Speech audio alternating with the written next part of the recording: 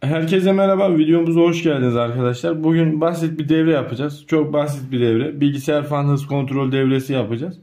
E, yorumlarda da arkadaşlarımız devre şeması olarak e, devre şeması çizerek anlatır mısın diye rica etmişler.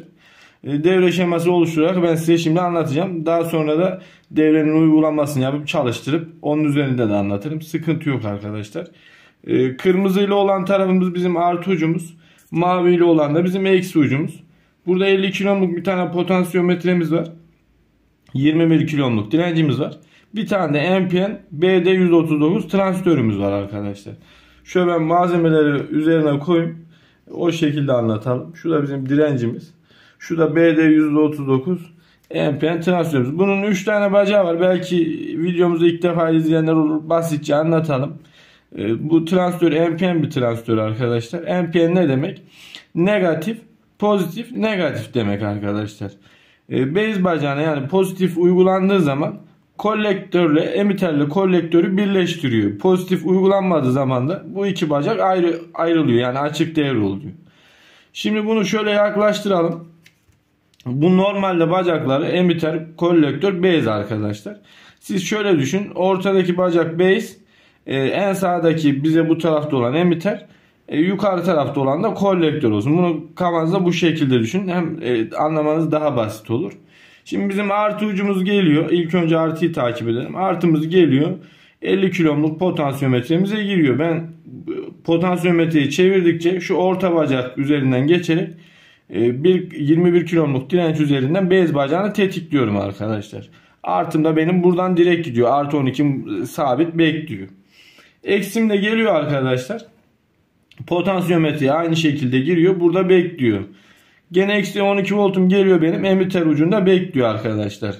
E, kolektöre geçip fanın dönmesi için benim potansiyometreyi sağa çevirmem lazım. Sağa çevirdiğim zaman arkadaşlar ben potansiyometreyi bu direnç üzerinden gelerek orta bacaktan geçiyor. 21 kilom üze, direnç üzerinden bez bacağını tetikliyor. Vanayı açıyor arkadaşlar. Vanayı açtıkça bu emiterle kolektör arasından geçiş sağlıyor. Ben ne kadar çevirsem daha fazla çevirsem e, kanal açılıyor. Buradan daha fazla voltaj geçiyor. Ben terse çevirdiğim zaman ise eksi ucum orta bacak üzerinden geçiyor. Bez bacağını bu sefer eksi tetikle tetikliyor. Eksi tetikle tetikleyince açılmış kanal açılmış kanal daralıyor arkadaşlar. Fanımın dönme hızı düşüyor. Devrenin çalışma mantığı bu kadar basit arkadaşlar. Şimdi hemen devre oluşturalım. Çalıştıralım arkadaşlar.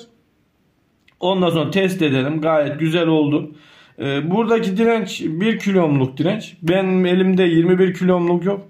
2 tane 10 kilomluk var. Bu ikisini seri bağlayacağım.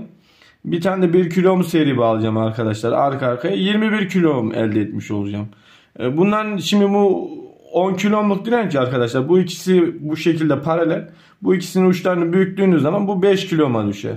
Şu şekilde seri bağlarsanız da bu 10 kilomu da şuradan ayırırsanız bu 21 kilom olur. Bunun mantığı da bu şekilde. Şimdi ben e, devre şeması oluşturalım. E, devremizi yapalım. Ondan sonra güzelce test edelim arkadaşlar. Yaptıktan sonra da ben size gene anlatımını yaparım.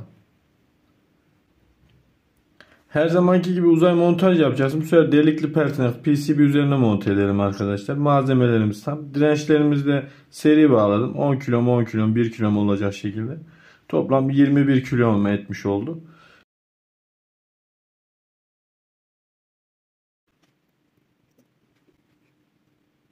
Şimdi arkadaşlar şema takip ederek devremizi kart üzerinde oluşturalım. Artı ucumuzu şuraya yapacağız. Klamesimizin bu ucu olacak. Buradan şu yandaki soldaki potansiyometrenin yandaki ucuna bağlanacak arkadaşlar artı ucumuz. Buradan da çıkacak. Direkt şu karşıdaki klamesin diğer ucuna gidecek. Yani ben buradan buraya lehim yapacağım. Buradan da direkt karşıya atlayacağım. Hani devremde oluşturduğum gibi. Şimdi bunu oluşturalım. Olsa adım adım devam edelim arkadaşlar.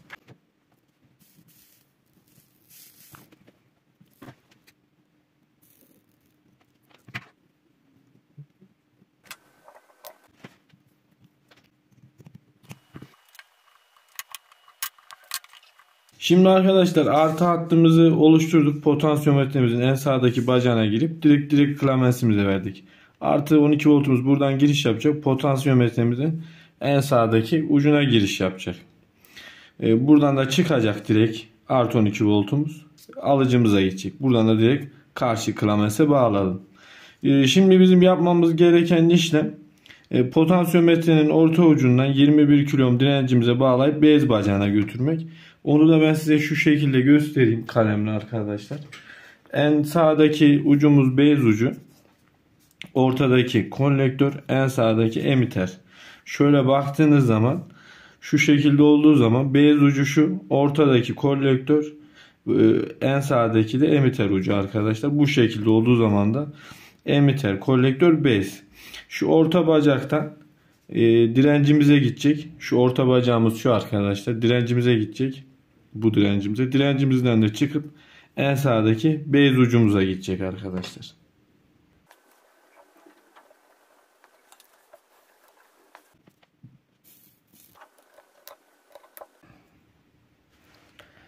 Şimdi arkadaşlar e, potansiyometremizin orta ucunu 21 kilomluk direncimizin ucuyla birleştirdik arkadaşlar. Ortadaki uç şu iki ucu birleştirdik. Direncin bir ucu da bu.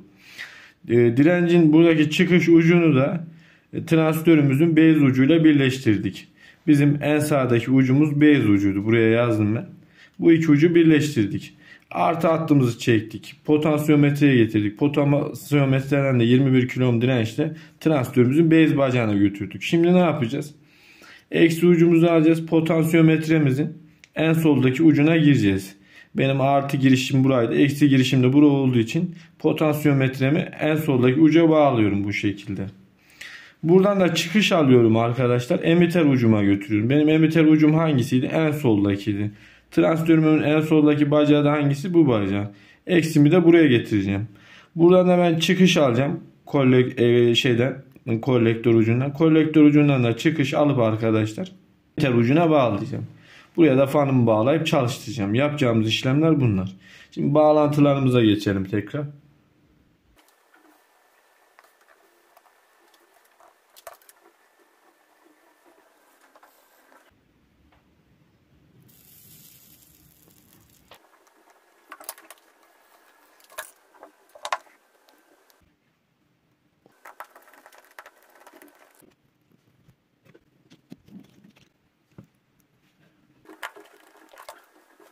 Arkadaşlar devremiz bitti. Ben şöyle göstereyim size alt tarafında görmek isterseniz. Gayet güzel, kibar oldu. Küçük bir devreye yapmak istedim arkadaşlar. Normalde büyük delikli pertinakslarımız da var. Daha küçük, daha kibar, daha güzel olsun diye. Şimdi adaptörün fişinde bu devre dayanıklı bir devre. 5 amperlik bir şeyden vereceğim. 12 volttan vereceğim enerjisini. Şöyle de takayım. Fişe de takayım arkadaşlar. Şu şekilde. Çevirelim. Dönüyor. Ben şimdi şunu şöyle kaldırayım. Hassasiyeti falan güzel. Hiçbir şekilde ısınmıyor da. 1.5 ampere kadar da şey, akım çekiyor arkadaşlar. Zaten bu da 0.11 amper, 0.10 miliamper e, yani arkadaşlar. Fazla da bir akım çekmediği için herhangi bir sıkıntısı yok. E, hassasiyeti de çok güzel arkadaşlar. Bakın kademeli olarak. Ben susuyum şimdi.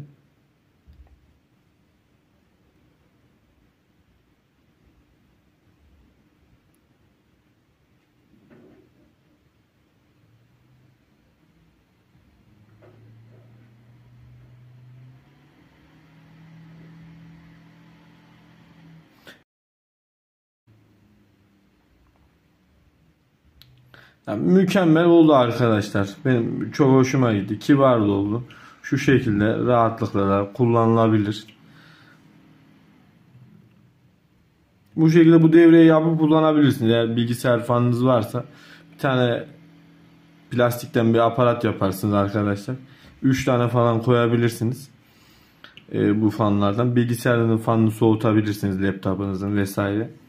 E, bu amperine dikkat edersiniz. Amperi farklı olabilir sizde. Daha fazlaysa bu dediğim gibi 1.5 ampere kadar destekli. İki tane bundan paralel bağlayabilirsiniz.